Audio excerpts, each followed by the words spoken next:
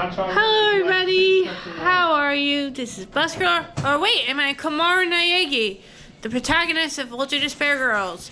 Today, we are making hot chocolate again. I know it's been overused, but I want to make this keep going. So let's get started.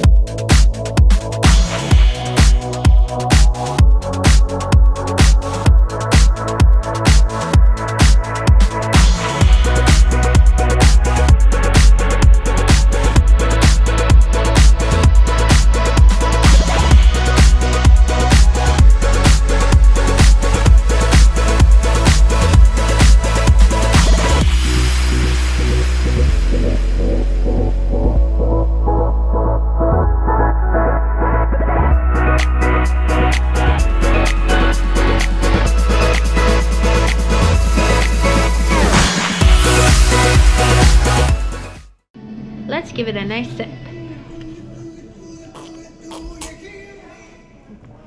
Hmm. Tastes like hot chocolate. So that's to conclude today's episode of Cooking in Cosplay. If you liked it, be sure to give it a big thumbs up, comment down for a MMD request, and I'll see you next time. Bye.